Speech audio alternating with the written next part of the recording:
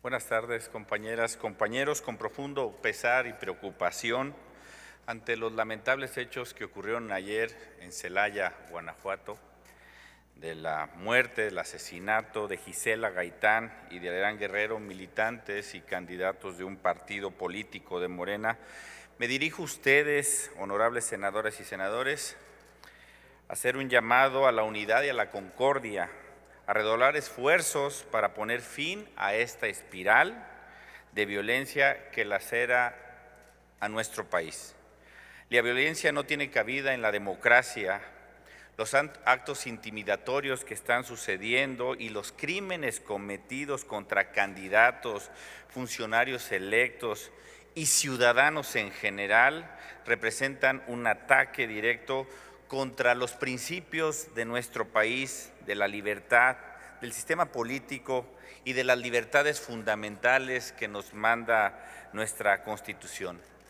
En estos momentos tan tristes, me solidarizo con los familiares, con los militantes del partido también Morena por estas sensibles pérdidas. Debemos mantenernos firmes en nuestros principios democráticos y de Estado de Derecho.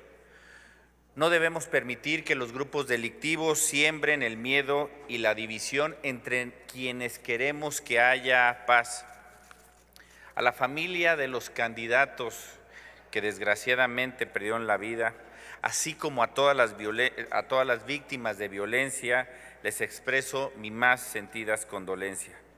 Pero también hago un llamado a todos los partidos políticos a dejar de lado las diferencias que nos separan en la arena política, para unirnos en una causa común, desde nuestras trincheras, hacer lo que está a nuestro alcance para erradicar la violencia y fortalecer las instituciones de seguridad y procuración de justicia. Pero también hago un llamado enérgico a los tres órdenes de gobierno, municipal, estatal y federal, en que trabajen por lo que los ciudadanos les mandatan, que es la paz y la seguridad. Es imperativo que las autoridades correspondientes investiguen este acto con suma transparencia, con profesionalismo. No debemos permitir que los perpetradores de este crimen queden impunes. Debemos todos enviar un mensaje a los ciudadanos a quienes nos debemos todas y todos los que estamos aquí, debemos reconocer que les hemos quedado a deber. Todos les hemos quedado a deber.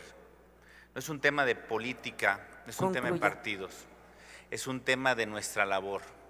A ustedes, ciudadanos, les estamos quedando a deber por quienes confiaron en cada uno de nosotros. Hagamos todo para que en la próxima elección podamos ir todos a votar libre, pacíficamente, sin miedo. Compañeras senadoras y senadores, concluyo, Presidenta.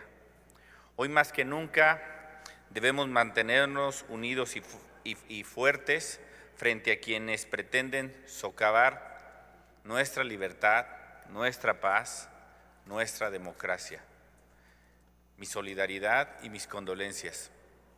Dios los bendiga.